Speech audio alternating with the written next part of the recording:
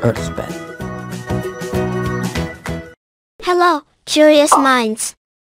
Welcome back to EarthPen. Today, we're diving into the world of simple machines and exploring the fascinating journey of energy transformation. From levers to pulleys, these ingenious devices make our everyday tasks easier by converting one form of energy into another. Join me as we uncover the secrets of energy transformation in the realm of simple machines. Understanding simple machines. Let's start by understanding what simple machines are. These are basic mechanical devices that amplify or change the direction of the force we apply to them. They're the building blocks of more complex machines and mechanisms. Types of simple machines. There are six main types of simple machines, levers, pulleys, inclined planes, wedges, screws, and wheels and axles. Each type is designed to perform specific tasks with maximum efficiency, energy, and work. Before we dive into energy transformation, let's clarify a concept, energy.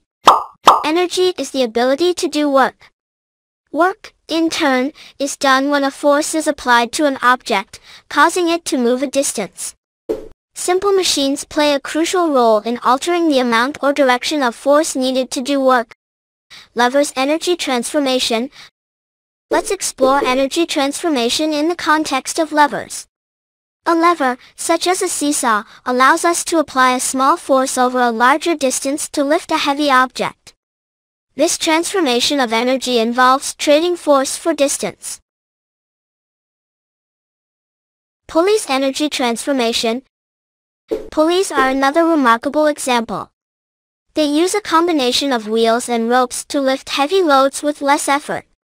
Here, the energy transformation involves changing the direction of the force applied.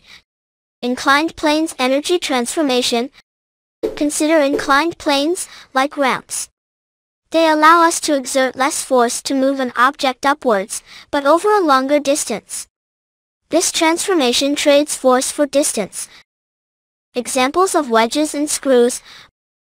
Wedges and screws also transform energy. A wedge, like a knife, converts applied force into a splitting motion. A screw, on the other hand, uses rotational force to move through materials, wheels and axles energy transformation. Wheels and axles are found in objects like carts and doorknobs. These simple machines convert rotational force applied to a wheel into linear movement. The role of friction. It's important to note that while simple machines are designed to make tasks easier, they're not entirely efficient. Friction plays a role in energy loss during transformation. Lubricants and proper maintenance can help minimize this loss. And there you have it, a journey through the world of simple machines and energy transformation. These basic devices showcase the creative ways humans have harnessed mechanical advantage to simplify our lives. Thanks for joining us today on EarthPen. Don't forget to like, subscribe, and share your thoughts or experiences with simple machines in the comments below. Until next time, keep exploring the ingenious mechanisms that shape our world. Once again, this is Earth Pen. Learning has never been this easy, for anyone, anywhere.